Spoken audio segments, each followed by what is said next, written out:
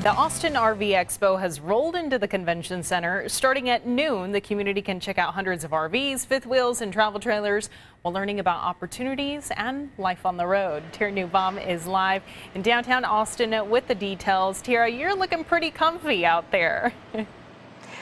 hey, all we need is a little fire and some s'mores, Leslie, and we'll really feel like we're camping. But yeah, this is such a cool event every, uh, every year at the Austin uh, Convention Center. The RV Expo starts at noon today, 10 o'clock Friday, Saturday, and Sunday, and it'll go till 8 o'clock tonight. So a lot of opportunity to come out, check out some campers. And, you know, Evan, if people aren't ready to maybe buy yet or they want to kind of try before they buy, Outdoorsy is a great resource for that. You guys are going to be here and also have a seminar. What's going to be happening from you? Yeah, this weekend, so we're having a couple seminars that'll help people understand how they can have an RV. Maybe they're buying one this weekend, or like you said, they might be thinking about buying one, and learn how instead of having it sit in their driveway once they're done buying it, or having to pay maybe to store it somewhere, that just adds extra cost actually turn it into a business for themselves.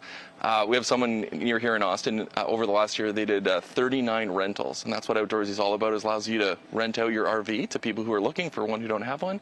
39 rentals in their first year. $48,000 is what they made last year. That's some great additional income. Wow, that's pretty cool. Okay, and Outdoorsy, I was just talking to you about this, is all over the entire world. We're all over the place. Uh, as we were talking about, one of my favorite trips that I've done so far in an RV was in Brittany, France. Super cool. So most people go to, you know, Paris, you enjoy the city, things along those lines. But if you're going to Australia, New Zealand, UK, France, Italy, Germany, um, Canada, of course, as well, we're all over the place. So you can enjoy an RV vacation here at home or abroad.